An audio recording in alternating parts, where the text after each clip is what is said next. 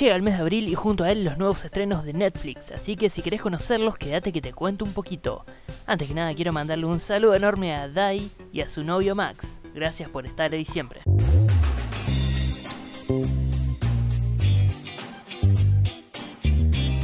Ultraman, primero de abril. La patrulla ciencia batalla contra monstruos gigantes y alienígenas siniestros que amenazan a la Tierra.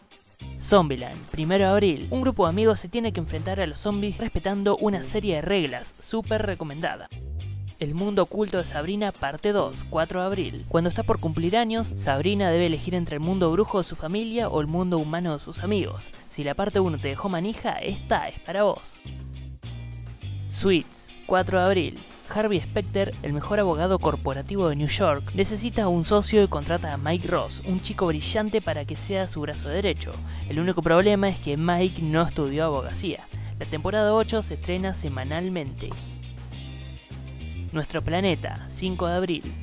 Si sos fanático de la naturaleza y los animales, esto es para vos. Dejate maravillar con la belleza de nuestro planeta. Se filmó todo en alta definición en más de 50 países y con la última tecnología disponible, desde junglas exóticas hasta los mares más profundos. Tijuana, 5 de abril. Cuando el candidato a la gobernatura es asesinado en la calle, los reporteros de Frente Tijuana corren para cubrir la historia, pero los hechos que se descubren son mucho más profundos que un asesinato. The Walking Dead, temporada 8, 14 de abril. La mítica serie de zombies renueva sus capítulos con esta octava temporada.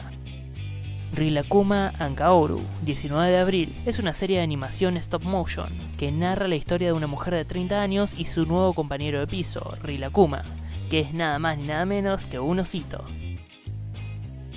El Conjuro 2, 20 de abril. Los conocidos de monólogos Ed y Lorraine Warren se enfrentan de nuevo a las fuerzas infernales. En esta ocasión viajan hasta el norte de Londres para tratar de ayudar a una madre y sus cuatro hijos, que habitan una casa llena de espíritus.